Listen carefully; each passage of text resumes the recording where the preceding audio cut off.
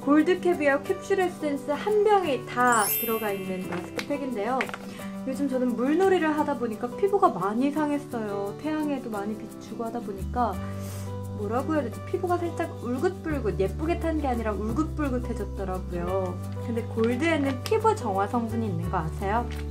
한번 보여드릴게요. 짠! 이 바깥쪽이 골드 시트고요.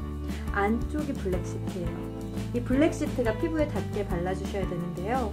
이렇게 피부에 닿는 에센스가 다 들어가 있다고 했잖아요. 수분 증발을 막아주고요.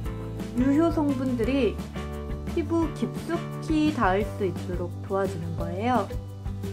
이렇게 붙여주시면 단 한 번, 단 1회만으로도 즉각적인 효과를 보실 수 있게끔 이렇게 꼼꼼하고 철두철미하게 되어 있어요. 그 어느 팩보다도 탄탄하고요. 그 어느 팩보다도 유효 성분이 날아가지 않게 딱 마킹하고 있는 그런 팩이죠. 흔한 팩이 싫고 스트레스에 지친 피부, 더위에 지친 피부, 울긋불긋해진 피부, 좀 투명하고 깨끗하게 유지하고 싶다 하시는 분들은요.